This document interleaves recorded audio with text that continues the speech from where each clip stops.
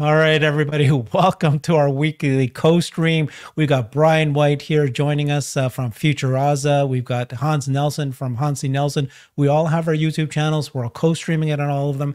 Today, we're going to talk about all the different things that are happening to, in Tesla. There's just some big moves that Tesla's making, some big things happening to Tesla. Just this morning, Tesla's board of directors released a an announcement that they're going to want to do an annual shareholder meeting, a vote to uh, to move the uh, headquarters to Tesla up to Texas and to re- ratify the previous 2018 uh, plan and to vote back in uh, Elon uh, uh, Kimbal Musk um, and uh, the other board member, so that the two same board members back in again. So that happened this morning. Last few days we had the 10% at least at least 10% of staff was laid off restructuring the company but then you've got elon saying that we need to do massive organizational change in order to get to the next growth wave.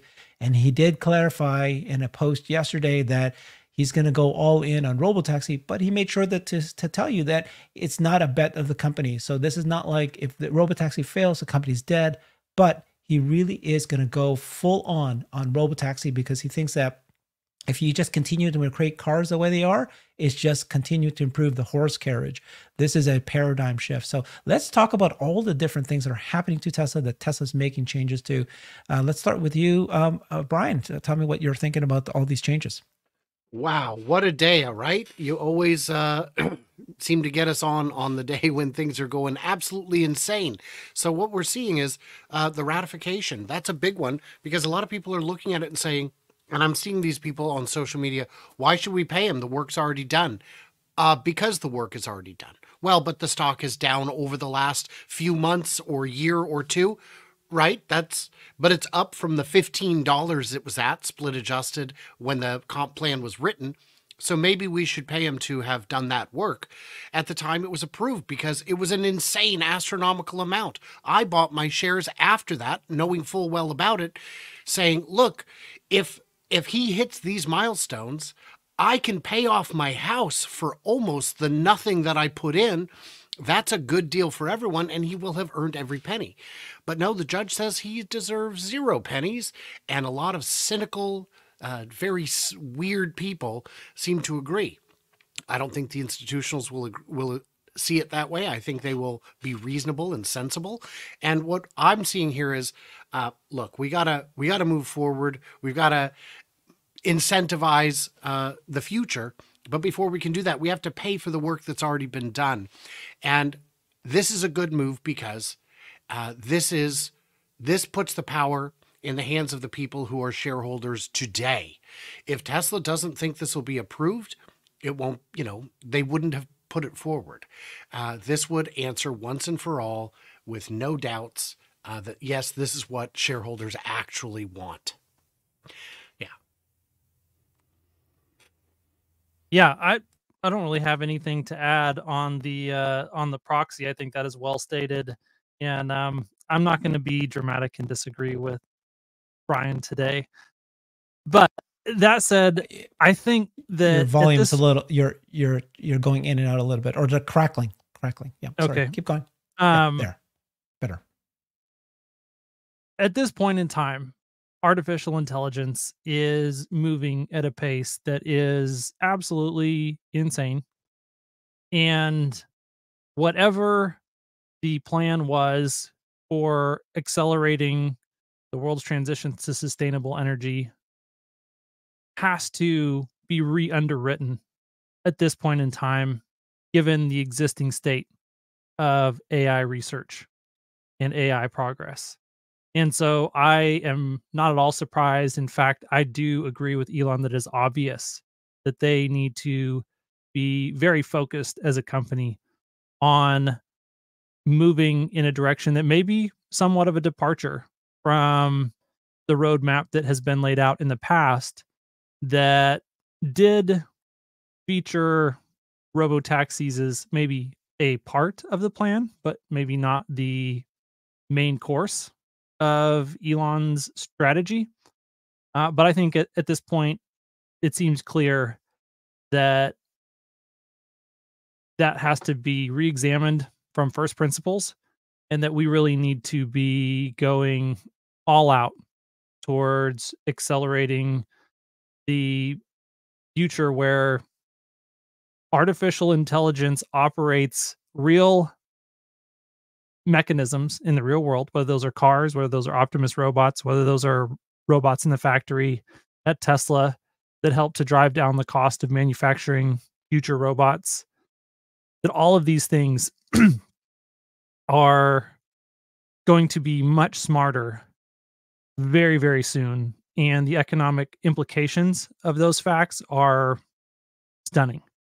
And so I'm definitely behind Elon in this. I do expect to see some turbulence moving forward. Uh, I don't think that, you know, going all in on something like this is going to be smooth or easy. Uh, just like ramping up the Model 3 was not necessarily smooth or easy. Um, I definitely don't expect the vast majority of shareholders, whether they be retail or institutional, to understand and agree with Elon's strategy moving forward. Um, so I think that we are going to be in for an increasingly bumpy ride uh, for the near term potentially.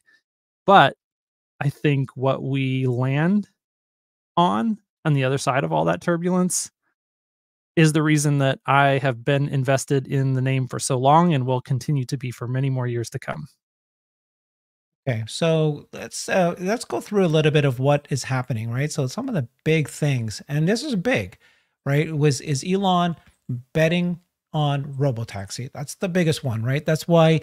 So when he when he initially said that I'm going to do restructuring of the company, laying off ten percent, that's something they normally do every two three years. That's normal. To they use the word streamline um, the the organization, but that's the language they used several days ago. And then all of a sudden, Elon's now saying that we need to do basically big, massive restructuring of the whole company. And this is a move where, in order to get to the next phase, this is, uh, I believe, it's no longer talking about making more cars, right? This is talking about moving to AI, to robots, to robo taxi. So Elon posted, uh, changed his profile to this, and you can see at the bottom says the word auto. Uh, and this is the autobiography of uh, Elon. Uh, you know, people are making fun of it. it says auto on me, uh, my biography, auto autonomy. But um, this person said, no, that word auto appears when you just do editing on iPhones. And you can see here that this is his photo of his child it says the word auto. But Elon said, I left it there on purpose. So he's trying to indicate that, um, you know, auto, uh, auto, and that could be the car, it could be autonomy, but, and I can't find this right now, I was trying to search for it. But yesterday he did uh, put a tweet out, post out saying that, you know, it's not quite a bet the company. Uh, we're not quite betting the company, but we're going to go all in on Tesla. Uh, it makes it doesn't make sense to not do that. So this is the idea that Tesla's realized he's he's basically saying this is it. FSD is to the point now where we can make this move. Why create a car that's going to compete with other cars? Let's create let's redefine autonomy and just complete, you know, redefine what cars even mean and redefine the company and what it's capable of.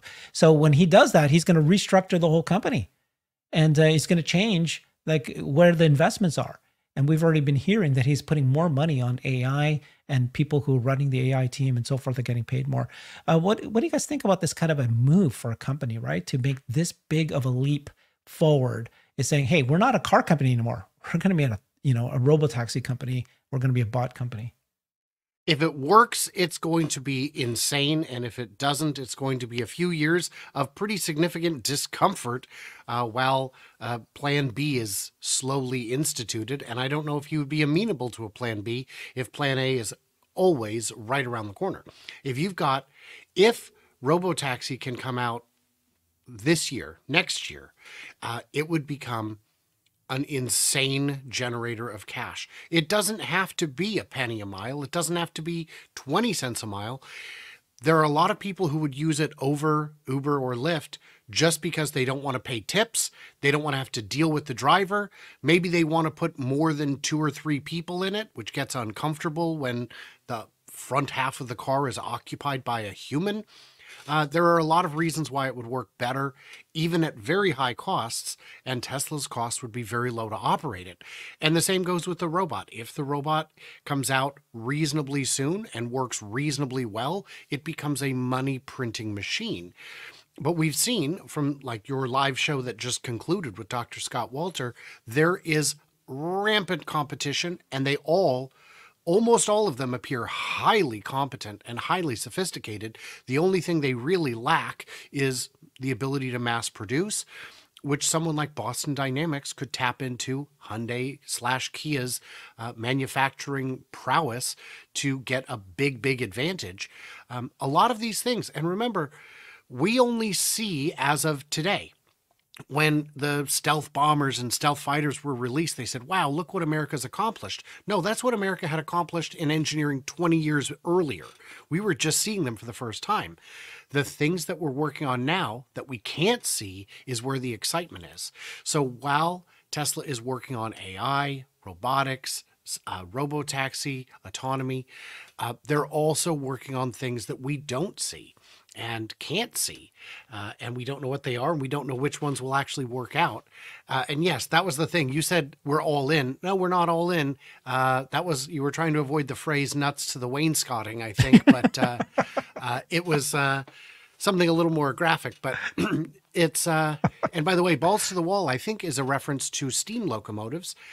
because the controller was a ball. Someone check me in that on the comments. I'd like to hear.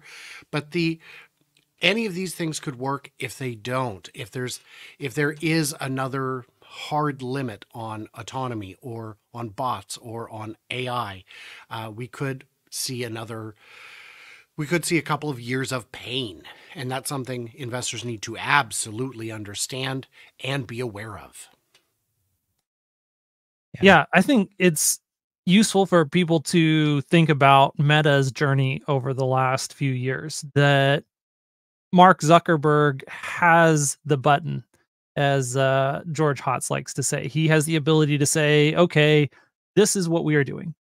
And that is what the company does. And so in 2020, that was a pivot towards the metaverse. And it is a move that cost the company a lot of money. Maybe it was a little bit early. Maybe it was somewhat misguided there was much consternation in the investment community over how much money they were wasting on the metaverse and letters were written. Um, but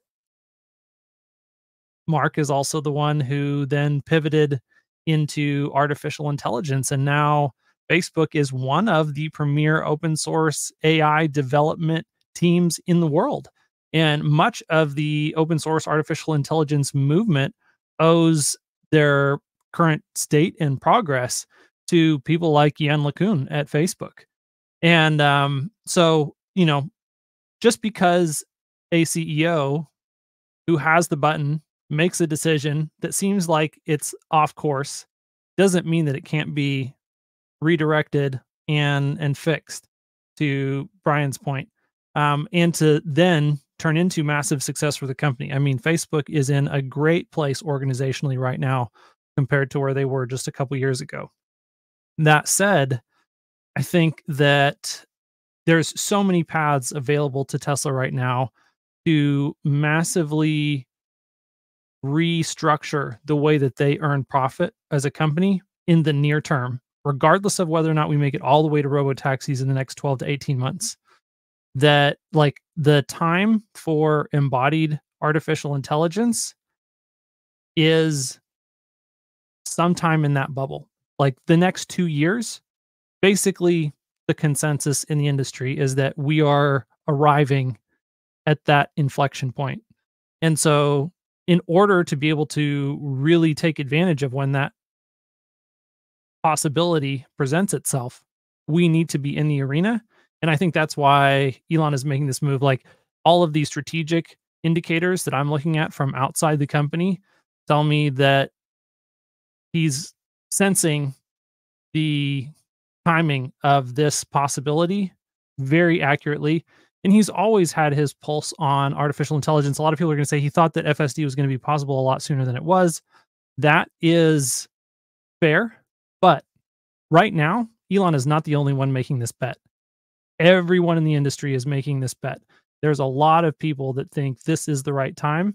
And if there's going to be that many competitors in the space, I definitely want Tesla to have their hat in the ring. And they have a vertical integration and a manufacturing expertise. So that's, you know, Hyundai does have manufacturing expertise, but do they have the engineering chops to come out with something that is completely groundbreaking, to design it in a completely vertically integrated way that is tightly coupled with incredible supply chain management to be able to reach the type of scale that Tesla's going to be able to reach, both on FSD enabled vehicles, robo taxis, but then on humanoid robots. You know, I think that remains to be seen. And um, so, you know, I, I think that mm-hmm. while I do expect some volatility moving forward, I do think this is the right time to be all in in this area. So what I would say on that real quick, real quick is that doing something for the first time is very very hard and you'll notice with every major technological breakthrough as soon as one person does it, a lot of people can see the roadmap and get it done, whether it's steam engines, powered flight, uh, text to uh, voice to text, it it all you know there's a there's a wave and it crashes. Uh, we just don't know what the sand looks like beneath the water. We don't know when the wave will crest. So it's going to be interesting to see. And I think Tesla has an opportunity with their manufacturing ability to do things that some of their competitors cannot. Yeah. So I want to talk about this. Uh, the topic of our uh, show today is game changing moves that Tesla, what you just said, both of you, is that uh, Tesla's always ahead of the game, right? So they were first to do EVs when everybody thought that electric vehicles were just never going to happen. They started doing that and then they kickstarted the electric vehicle revolution. They accomplished their goal, their mission, which is every single car company now realizes they have to create it. They were pushed, crying and screaming, to now launch an electric vehicle it is no longer a debate whether or not electric vehicles has taken over. Across the world, I think Hans and I, we've done a report saying that at least 31 countries have hit that 5% EV adoption rate. Typical for new disruptive technologies. Once you hit the 5%, it says skyrockets and it's hard to stop at that point. The replacement of the traditional uh, is gone. They were the first, not the first, but one of the first to say, hey, I'm going to go all in on a humanoid robot they came out with that dancing human. They came out with the next version within a year and a half. They had something looked really, really good. Boston Dynamics, we just reported today, they just launched a brand new Atlas. Yesterday, they they this they put away they retired their old Atlas. Everybody said that they were the most the incredible leader, but they're actually in catch-up mode because their old bot was not designed. It was pneumatic, not electric. It was very bulky, not designed for scale manufacturing. So you know, Tesla was the first to say, this is the time to go all in on a humanoid bot that can go at scale to actually be able to do useful work. And we're going to manufacture this at scale, thousands and thousands, and maybe even hundreds of thousands, maybe eventually millions. He started talking about two or three years later.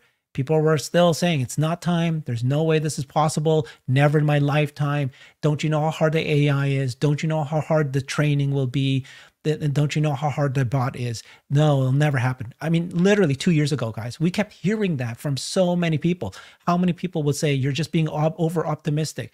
Here we are with, I'm reporting at least 10, 12, 15 uh, humanoid robot companies all dropping videos every single day showing the incredible improvement. Tesla was way ahead of that. Tesla started doing full self driving. They started doing autonomy, um, uh, autopilot on highways. And everybody kept saying because you know Elon, uh, you know, dug himself in a grave because he kept saying every year it's going to be done this year, it's going to be done this year. So nobody believes him anymore. And so when he comes out today and he comes out and says this and he says, you know, we're gonna, we're not quite betting the company. We're now going to balls to the walls for autonomy is a blindingly obvious move. He's not only releasing uh, FSD to the monthly payment, 99 per month, and releasing out far and wide, letting anybody try it now. Many of us were going, boy, is it a little too early? FSD 12.3.3 certainly looks good, but is it too early? He, they are seeing the improvements. He already is using the next few versions. They already can try, measure and track the disengagement and capability. He was confident enough to release that sooner than later. And now he made massive changes to the organization. So, you know, he said this uh, before he said this statement, he said this every half decade or so, Tesla has to do a complete organizational overhaul to reach the next level. And of course, executive tenure is unusually high at Tesla. Tenures are not. So if anybody who's concerned about why these two top level executives left, you know, they, they, their tenures were eight years and 18 years.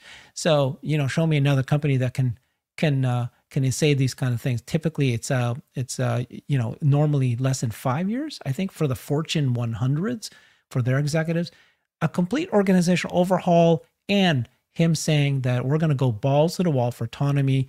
I appreciate um, some of our mem- uh, viewers here. They're pointing out that uh, this guy says, uh, as a Brit, absolutely yes. Balls to the wall is the governor. It swings up and releases excess steam. And this is uh, First attributed in 1960, balls to the walls was aircraft engine control levers. Having the centrifugal balls on governor of a steam engine hitting anything would be bad.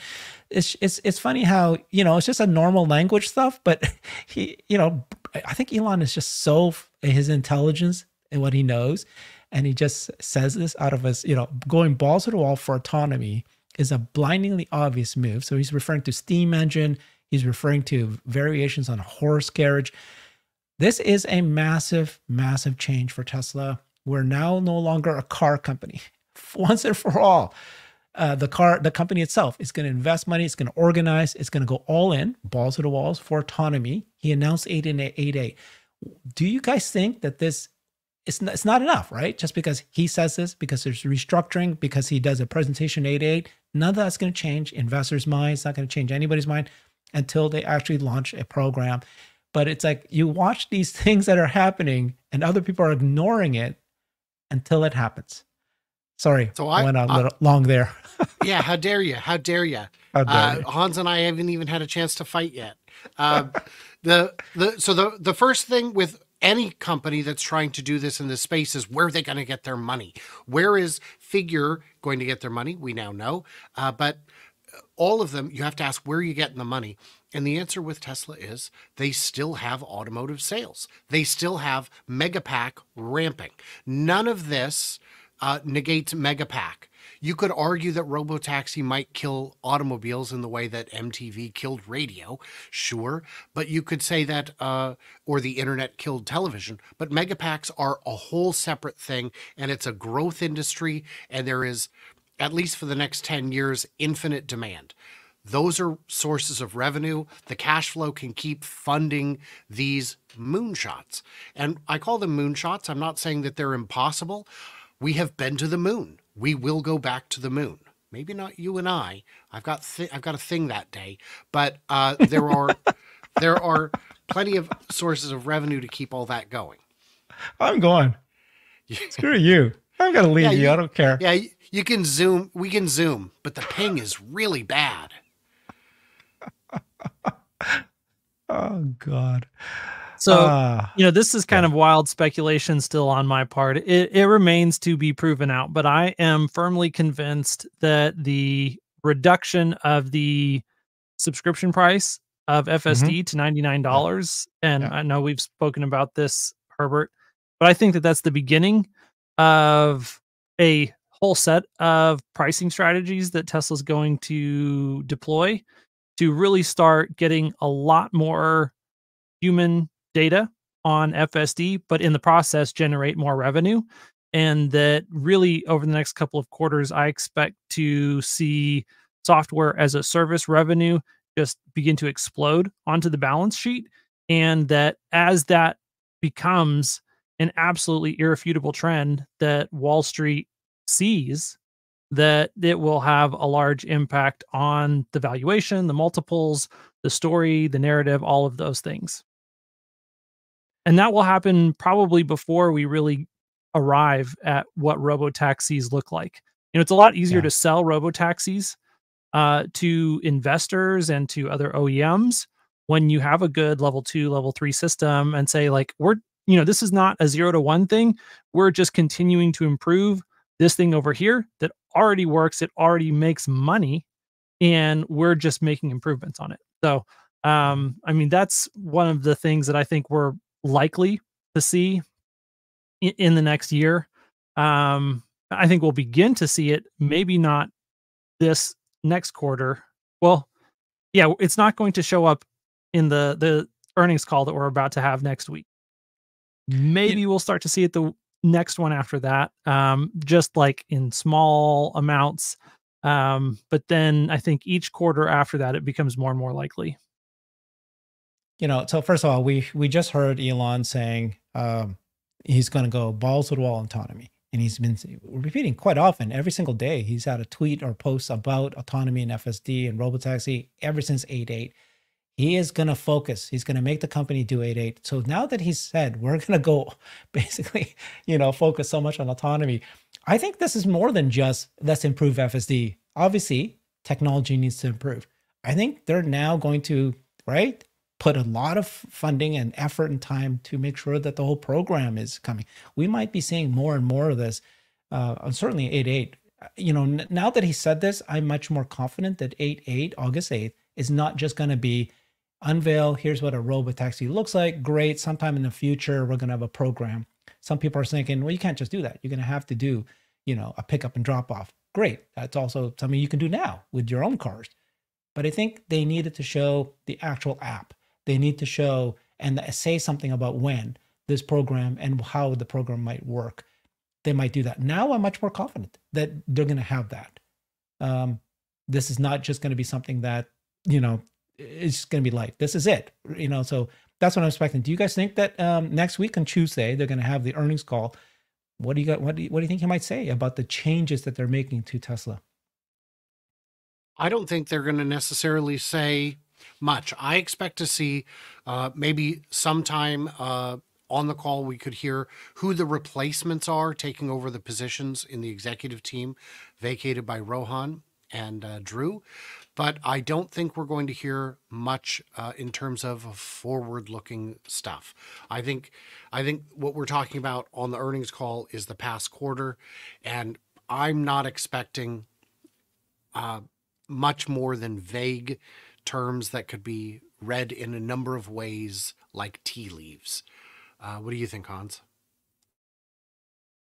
Yeah, I, I mean, I'm preparing for the worst and hoping for the best as far as the earnings call is concerned. I I keep thinking back to, you know, earnings calls in the 2018, 2019 era when and that's kind of I think a phase of the company like today just feels like that general era. And I remember Elon saying, "Hey, let's go to YouTube. All these questions suck." By the institutional investors.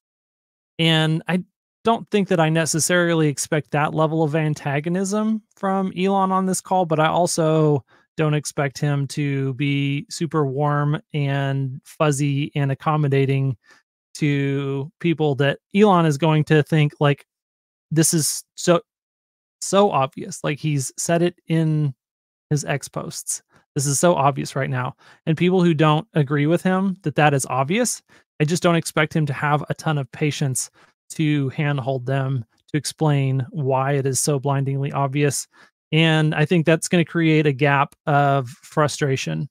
Um, maybe I'm wrong. Maybe the executive team will do a great job of clearly communicating where the company's at, where we're going, and what the reasoning is behind all of these decisions. Um, it's definitely possible. I would love that. It wouldn't hurt my feelings at all. Um, but I've been around this block a few times, and uh, I know that that's not usually how this situation plays out. So I just okay, wanted so, to take a quick second, real quick, to say mm-hmm. in the comments, I, I want to hear from you guys. What do you think will be Tesla's three biggest revenue sources in 2030? Is it going to be auto megapack autonomy? Is it going to be bot AI? Is it going to be uh, selling chip patents? I don't know. You guys have some great insights and I'd love to hear them. And just a reminder that this is a simulcast on Brighter with Herbert, on Hans C. Nelson on YouTube, and on FutureAzA. We do this every Wednesday at 11 a.m. Pacific uh, because uh, it's how we get ready for lunch. Yeah. Good, good point. So thank you for that, uh, Brian. So uh, I wanted to mention that I did a show with um, Brian Wang, and he this is an incredible show because he explained that Tesla today not only has passed the 100 exaflops that they were projecting they would do by August, they likely have you know 400 exaflops uh, certainly way more than 100 at this point and so everything you're hearing about the restructuring and the going you know going full full in on autonomy that's all very good news of course not only for a uh, for autonomy but for ai and bots because they've spent a ton of money on um, on um, chips and uh, they're they're well ahead in compute constraint. They've just announced that they're going to build a new data data center in Buffalo, New Jersey, and then they're obviously going all in on bots too. So for them to say that they're going to go all in on robotaxi at this point, I I, just think that it's all going to add up, right? This mass improvement in FSD is also improvement in what the bots can do and what it's going to go to. The other thing that I want to talk about today is the other big event that happened this morning. So, of course, we've got um, a letter that was sent out to all the shareholders this morning that they announced that Tesla said that Form uh, Pre 14A has been filed with the United States uh, SEC. And uh, basically, it's a preliminary proxy statement. And you know, first it starts off with the company highlights, how great the company's been, the key things the company's accomplished uh, certainly in 2023. Uh, but now they're asking shareholders to vote. That uh, it's very important that shareholders. This is Robyn Denholm. She's the chairwoman of the board of directors at Tesla, and she's asking for folks to vote in the 2024 annual shareholder meeting, which is now going to be uh, held in two months from now, in June, April, May, June, in June. And so the shareholders, they want you to vote on several measures. One of them is re uh, re-electing Kimbal Musk and James Murdoch. That's step one. But the most important two that they want all of us to vote on is approving Tesla's state of incorporation from Delaware to Texas, and then ratifying the compensation plan that was approved in 2018. Because the judge rescinded it in Delaware, we now need to re-vote again. And apparently, the good news is that four of the top 10 institutional investors have agreed to doing this as well. So the high, the likelihood for these things to be approved is very, very high. Thank you, Daryl. Daryl said it's June 13th at 3030 for the shareholder meeting. You'll have a chance to vote for that. That's very important for all of us. And so what uh, I just had a live stream with uh, Alexandra Merz and with Richard Hoffman, a lawyer, and what they were saying is this is great news. This means that Elon, that Tesla believes that this is going to have a high chance of success and that if it's a first step, there's still going to be you know appeals and and and you know other kinds of uh, legal maneuvers need to happen before anything is important. But if we vote this back in the 2018, Elon is going to be very focused on Tesla. Having said that, I really don't think his focus has not been on Tesla. I, I really I can't I don't understand those people who say, oh, you know, Elon's sand, but he's like he's purpose he doesn't want the stock to rise. But dude, he's he's releasing pod videos every week. He's he's showing you uh, and you know announcing 8.8 uh, of a robo taxi. Version 12.3.3 went out. 12.3.4 went out. He's focused. He's done a complete reorganization of the company for the purpose of making sure that Tesla succeeds. None of that's happening. Having said that, though, uh, both Richard and Alexandra said that if this compensation plan was not ratified, meaning revoted back in again, in June 13th, Elon could leave. And so this is one of those things. But I just want to, you know, uh, obviously he's not leaving. He's not, that's not going to happen because this is going to happen. Uh, it's very high likelihood this will pass. So these were announced today. So for me, I'm listening to this. Okay, I've been waiting for this. Alexandra said it was going to happen, and it did happen. If it didn't happen today, that means that things are even further delayed and this whole kind of like what's going to happen to Elon, uh, his compensation plan is just going to stick there for a lot much longer. So for the, that this has happened means that Tesla Elon's on board. They they probably already have their new compensation plan, but they couldn't talk about it today because they don't want the Delaware court to have anything to do with a new comp plan. So they don't want to mention that until they've got the annual shareholder meeting. They they once we move the company out of Delaware and officially in Texas. They'll talk to you about the new comp plan. At this point, I'm not concerned that Elon does not have something, you can already see his actions. He's going balls to the wall. So we What saw a good a good question from uh, Atlas Ash. Does everyone who owns an, any number of shares get to vote? And the answer is yes. And your votes are weighted based on your shares. So if you have ten shares, you get ten votes. If you have a thousand shares, you get a thousand votes. And uh, if you're Gary Black or Ross Gerber, you get fewer votes than my buddy Jeff because Yep. those guys, for the amount of attention they get, really don't have much in terms of holdings. Ross was so excited for autopilot when he first uh, tried it out. This is the future.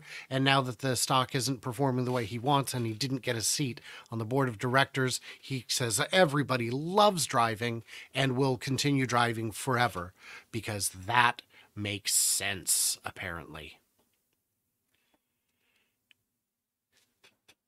I mean, people who change their thinking uh, because of the stock price going up and down, it, it just shows you that they're not being objective about a company.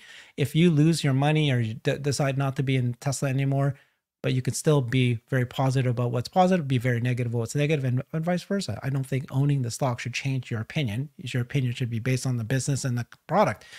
And then, you know, yeah.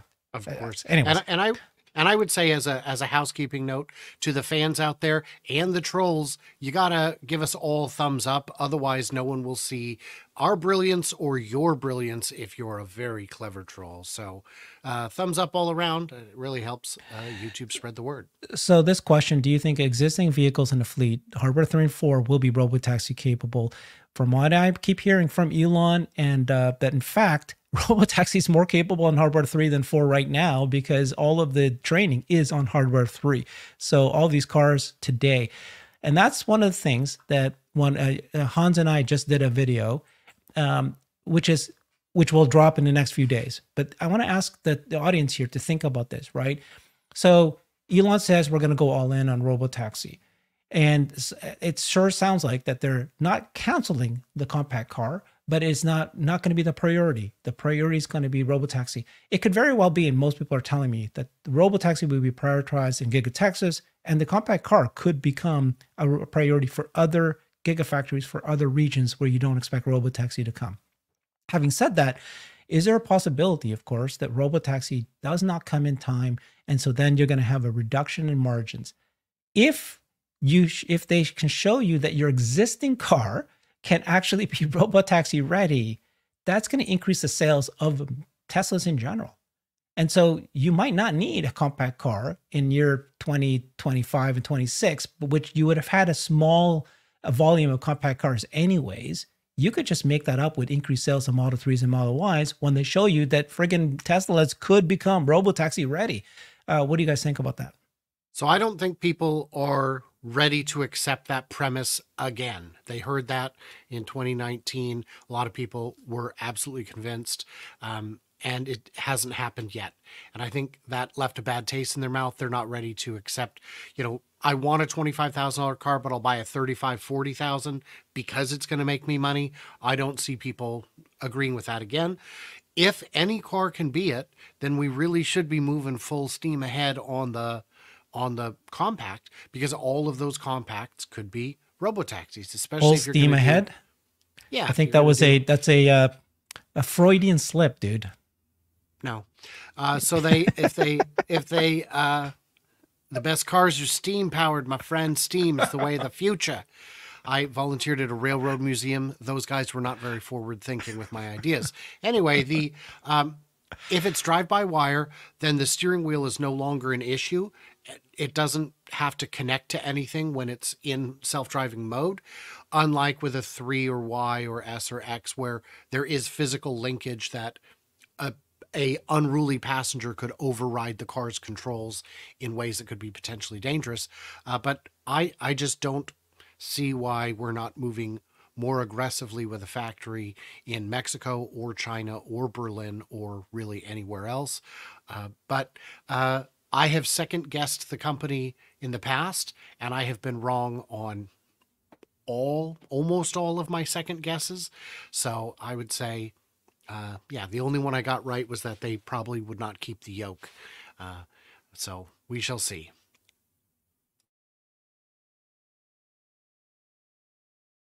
Do you have thoughts Hans? on that, Hans? You know, jump in or Yeah, Hans? you know, jump in or Um, yeah, I don't really have a whole lot to add to that actually. All right, so let's talk about other game-changing moves that uh, Tesla's doing. Um, so, you know, the the I mentioned earlier that the the the purchase of what they're doing with AI, um, the the chips. So Elon did. I'm trying to find the tweet here just to prove to everybody because I do have it, where he said that you know in this chart that was presented, and it said that Meta is about 300,000 uh, H100s and the next one is at 30,000 and Tesla sixth. And Elon replied back to that and saying that's not true. Tesla would be number two and XAI would be number three. And this is where my show with Brian Wang proved that he's got all these kind of like he pieced together all the tweets that uh, other executives have said, that Elon has said, that that Tesla and XAI have purchased significant amount of chips. And now you heard them say that they're not long, no longer compute constrained. So this move by Elon creating XAI, and he initially said he wanted that to be part of Tesla, but the the developers and the people he would need to hire wouldn't want to be part of a big company, want to be a small company, create a separate company. They launch Grok in three months. Then they launch Grok 1.5. They're announcing 1.5 coming up in a couple weeks here, in a week or so. And he's already saying that Grok 1.5 is going to be better than the, all the others out there already now. So not only did they come late, they caught up very quickly, and now it's better. And then what they said was that Grok 1.5 can do videos. Did you guys see the Jim Fan comment? So Jim Fan is an NVIDIA uh, developer creating the bot AI. And he said that the cool thing about Grok 1.5 is that because it can uh, understand video, what it can do for the cars, the robo taxis that we have, is that when a car comes and it has a scene and has to make a decision what's happening in the scene, okay? Like there's children with backpacks that maybe there's a school nearby, they might come running out. It would know that. It would know that. It would make a decision of what's happening. This is the brilliance of this. It's no longer just, you know, just a car driving and seeing humans walking, so better be careful. This is understanding the scenario. Um, so that's the next big game changing move, right? Is Grok integration into the cars, into the bots, and the the kind of the way that the companies are going to work together. Uh, thoughts on that? I think there's a lot of opportunity there. I think uh, having, you know, there's this new trend. Everyone wants to make a little AI button. Uh, we saw Marques Brownlee uh, address that, take a company down a peg, uh, because all it really is is uh, a smartwatch that goes on your shirt and costs more money for no real benefit. It can do anything your phone with an app can do. So why not skip the best uh, accessory is no accessory, put it in the car. Why would you need an AI assistant that you wear and pay $26 a month for, $20 a month, when you could just press the right scroll wheel and say, um, find me a, a, a non corporate chain coffee shop along my route? That's useful and that requires AI. That is not something you're going to easily get from a search result without spending a lot of time digging. And I think just having an AI intelligent navigation system, because when I look for restaurants, it'll often say, oh, you know, the, the closest one is 11 miles behind you. So go a half hour. That's not useful. And I can't do it while I'm driving. So getting all of these automated pieces together in one would be helpful. And I think AI is, XAI is better positioned to handle that than Tesla's own internal software team. This is to me the, the use case for that kind of intelligence. What do you think, Hans? Yeah, and I think that those opportunities are all on the table. What we what we know is that Tesla has said, "Hey, we want to start building copy and paste data centers." We don't know exactly what form that's going to take, but if they're doing copy and paste data centers, they're doing something with distributed artificial intelligence. That we can guarantee you. And so, whether that is for robots, whether that is for FSD, whether that is for Grok integrations, whether that's you know a new entertainment platform that exists inside of the robo taxis, like there are so many possibility for software and services that Tesla can deliver on this incredibly large platform of incredibly complex hardware that they have. Um, and so, you know, I, I think that the the Grok integration makes 100% sense, especially now that, you know, the the model weights are open sourced and so um, I think it becomes a platform that's easy to develop on for Tesla without creating weird shareholder uh, conflicts of interest and stuff. Um, I, I think that it's just obvious that this is the future that we're moving towards. Whether we can get the exact, like, you know, it doesn't have to be Grok. They could also do it with Mistral. Uh, you know, there's there's any number of other services that they could also use. And regardless of which one they use, it's going to be something that is valuable to the customer that Tesla's going to figure out a way to serve at an economical cost and make a bunch of money on. Um, and so I think that's really the thing, you know, from an investment standpoint, that people just need to appreciate the size of the opportunity that Tesla has in front of it to earn massive amounts of money off of software. Uh, what do you think about um, uh, them announcing that, or Elon saying that Grok, XAI's Grok, is going to become open source?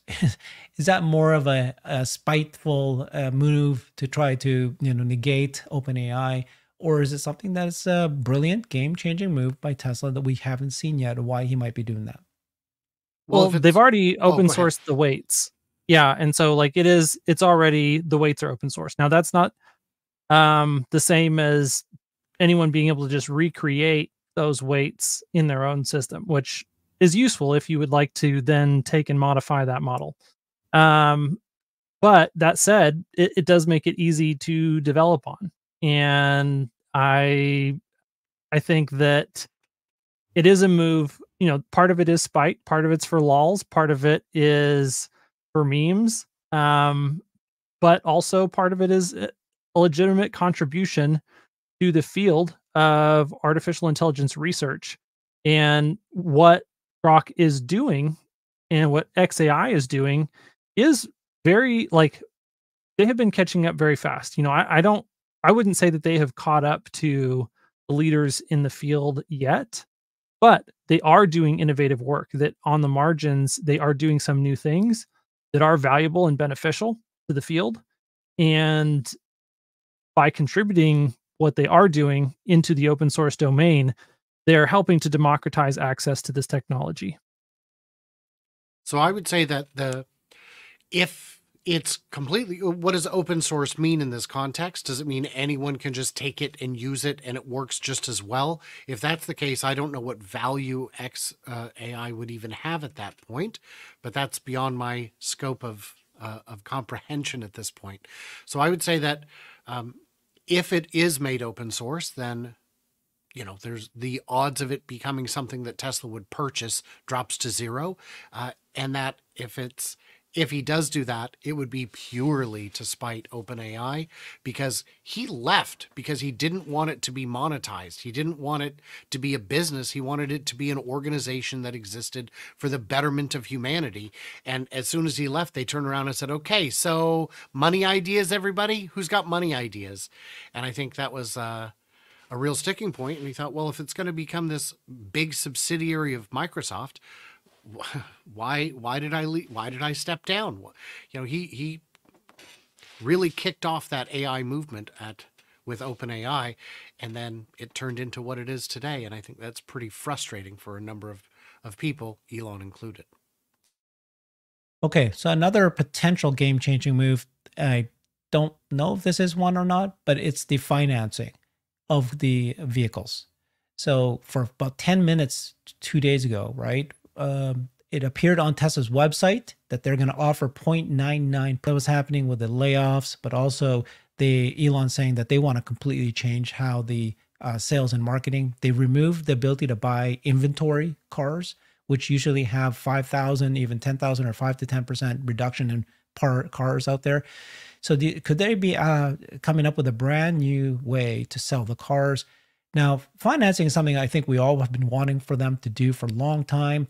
but it's not new, right? Lots of car companies offer this. Uh, it's it's available out there, zero percent financing, but it's something that Tesla should have been done doing a long time ago. Especially if he's saying that it's the financing, eighty percent of cars bought is through financing, um, that should have lower interest rates would have gotten more people to buy cars, but you know with well now that you have this but you know stronger belief that fsd is going to work and that you really know that it's coming this new revenue stream a subscription revenue stream maybe they're willing to kind of give that to to uh, to people now with revolutionary financing offers offering.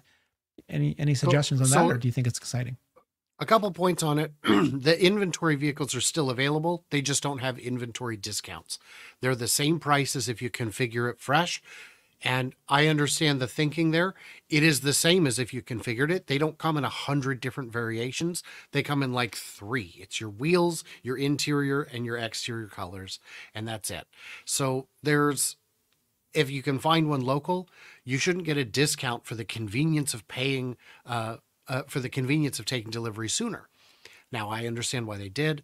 Uh, on the financing issue, I would say that uh, it's likely that it was an error because we know in Germany they just introduced zero or zero nine nine something very very competitive on uh, as a purchase incentive, and it could be that it was prematurely rolled out in the wrong region and they just caught it. We don't know, and I agree with you that uh, interest rate discounts are the way to go. It doesn't necessarily turn them into a bank. What it does is they're just when you buy a car, if the real interest rate's five and the dealer charges you seven, they get a premium. If you say, I won't take this car unless you sell it to me at 3% interest, they can pay the difference to buy it down to three. And uh, that's how those deals work. Uh, and then, of course, the dealer just charges you more somewhere else. So, the on those things, Tesla is just working with an outside bank to buy down your rate to zero or one or whatever competitive rate it is. That's how all of those guys do it. And in terms of the inventory management, we saw Elon saying, boy, that buying process is so, uh, it really needs to be streamlined. And a lot of consumers stepped in and said, the buying process is wonderful. What needs streamlining? It is and my, yes. And my answer is, we don't see behind the scenes. this is like a duck crossing the pond. Above the water, mm. it looks great, but underneath, they're kicking like hell. So I've seen people recently who just bought their Tesla and weeks later still don't have their plate because uh, they checked online and saw that the that Tesla had not yet uh, submitted that batch of registrations for plates to be sent out. Maybe that's part of it. Maybe it's behind the scenes it's really uh, muddy and, and needs to be streamlined. So it could be things that we don't see where it looks great, but behind the scenes it's a cobbled together mess and they want to get it more automated, more simplified, more foolproof. So I think all all of those things. It's definitely better than, you know, a lot of auto companies have gotten to the point where they have captive financing where they actually own the loans and they can, you know, lend out at whatever rates that they want. While that makes sense, you know, at a certain scale, it does require a lot of capital. And Elon has specifically mentioned that that was one of the reasons that even though they've thought about offering captive financing, that they just even, you know, having 20 billion in the bank just didn't have the cash necessary to be able to finance every single sale uh, that they had. And so doing these interest rate buy downs is something that's a lot more capital efficient. It allows them to have an impact on the rate at a larger scale without using nearly as much money. Um, and it is something that our, you know, friendly Wall Street analysts like Gary Black have been advocating for for a long time. Um, and you know, I, I think it makes sense if uh, definitely to incentivize people to you know be willing to take on a new car purchase um, that isn't as affected by the economy. I mean, people's buying power is still significantly reduced right now. Um, there are so many areas of the economy where inflation is impacting the wallets that even if you buy down the interest rate on these new vehicles, uh, I think that people just aren't in nearly as healthy of a financial position to afford these types of new car notes, even at lower interest rates as they were several years ago. So it will have an impact. How much of an impact, you know, kind of remains to be seen. I think that all of that said, we are in a position now with the potential for recurring revenue sales on the FSD software to more than offset all of that. So um, as we move forward, that's that's the thing that I'm continuing to yeah. try and keep a close eye on. I um I had a uh, debate with Alexandra the last several weeks, uh, last week, that which when uh, when an eight eight when they announced the new robotaxi program, or not eight eight, but at some point when they start the robotaxi program, will they start with Tesla's robotaxi vehicle, or will they allow people like us who own our own Teslas to be able to then have, be part of a robotaxi and start with customer cars. And I said, no, it's going to be a robotaxi vehicle. She believes strongly it's going to be robotaxi or your current cars. And one of the things that if they if they did decide to deprioritize the compact car, if they can show that your current car can become robotaxi ready, um, the sales of Model 3s, Model Y will go through the roof. Elon has said many times, repeated this over and over, that it's going to be the greatest capital reallocation in history. That your capital, what what did it, what was his words exactly, Hans? Asset value increase.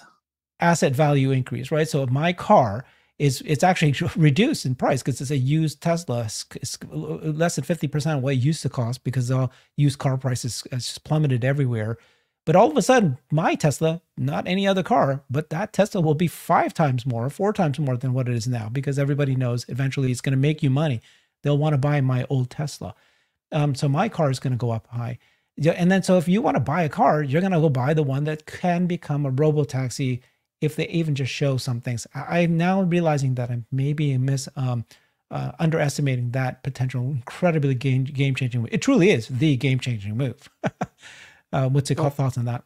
So I would say that I don't make projections beyond the horizon, and this is beyond the horizon. I don't think many people are going to accept that story again. Even if it's true, he's cried wolf too many times on imminent robo taxis. And I don't um, I wouldn't be surprised either way. If you're right or if Alexandra's right, that it could be both. I think if it is both, it'll create a lot more demand for the existing vehicles and vehicle sales generally. But I could see Robotaxi being something where it needs to be rolled out one city at a time because you have to have new shops for it, new service centers where they clean the cars and check the tires and what, whatever they need to do but really cleaning the cars, maintaining them. So they would need dedicated shops for that. And you can't do all markets at once. So you do something like tell Uber, look, we're not going to Tulsa until 2029. You can have Tulsa for now. And Uber or Lyft could, with confidence, roll out their own fleet. You can charge whatever rates you want. You can manage it any. You can add other cars to it if you want. Uh, but in the meantime, take as many as you want because we have more production capacity than we have the ability to pay for the vehicles to keep. It's a lot of money if you're doing millions. You can't keep them all while the revenue is growing to buy new ones. And it would keep uh, the cash flow coming in on the sale of those.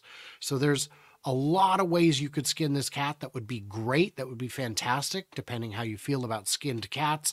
And it would be uh, an opportunity to continue growing while uh, while not putting artificial restrictions on yourself and not sacrificing your uh, your current customer base. Wow, Anthony, thank you for the super chat. You got a super chat because, especially after you said the word "skin a cat," uh, it might have come in just. Take before. it back. Take it back now. Ew. Ew. Way to way to end it, Brian. Jesus. Okay, thank you guys very much. So we talked a lot about the game-changing moves. Tesla is in a point of history. I, I don't think I'm under under uh, overstating it. This is a point of history that's going to be important. We're going to look back on it. I'm very optimistic, as many of us are here. This is all you know, good signs. Thanks everybody. Talk to you soon. Bye bye.